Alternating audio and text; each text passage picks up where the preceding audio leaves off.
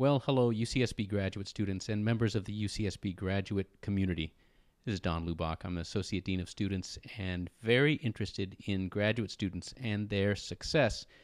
And it's my lunch hour, and I just occurred to me that we have not um, really sounded the exciting horns about this phenomenal new tool that UCSB graduate students have full access to, and that is the offerings of lynda.com. Not only a great resource, but a local resource, and a lot of gauchos work there. And now we have all been given a all you can eat subscription to the offerings of lynda.com. I'm looking at mine right here. I was able to authenticate into lynda.com via the uh, page on human resources uh, at ucsbhr.ucsb.edu. I typed my net ID and I find myself in a deep trove of learning possibility here.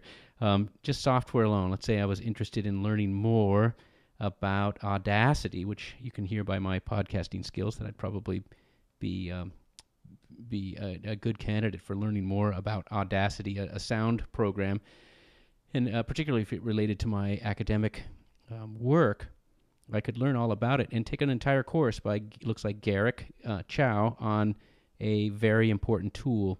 Um, lynda.com has all kinds of software tutorials, but their offerings are going now expanding far beyond uh, software into areas that should be of interest to our entire community at UCSB.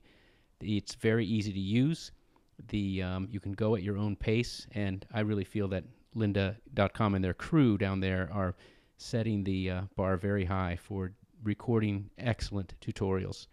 So um, here's the news um, UCSB grad students, particularly if you're working on campus somewhere as a TA or a graduate assistant or heck, even at the bookstore, you now can um, proxy, not proxy, but you can tunnel your way into lynda.com for free with an all you can eat subscription. And after you complete these courses, it is perfectly legitimate for you to add them to your resume and or CV as you develop professional skills and move into the future. So um, I'm going to complete my lunch hour by learning more about Audacity. So I'll sign off now and urge you to take advantage of this phenomenal new perk at UCSB, the all you can eat lynda.com subscription brought to us by good people at UCSB. So for the graduate post, this has been Don Lubach